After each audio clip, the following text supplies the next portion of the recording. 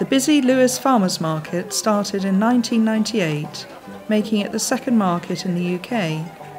Before launching the market, we carried out extensive research to find food producers in Sussex, cheesemakers, organic veg growers, beekeepers, and more, and printed the first directory of local producers. The market, held on the first Saturday of every month, was the next step to link producers with consumers.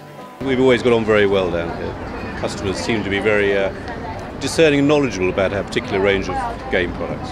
Certainly, it's one of our busier markets, um, come rain, shine, or snow. So, we've been doing Lewes Farmers Market now since the beginning. It's had a major influence on our business.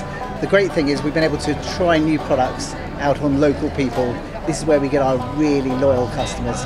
On a day like today, when it's been really sunny, we expect everybody to be out on the beach, they're here. We do farmers markets throughout the southeast, and the best market we do is Lewes, without a shadow of a doubt.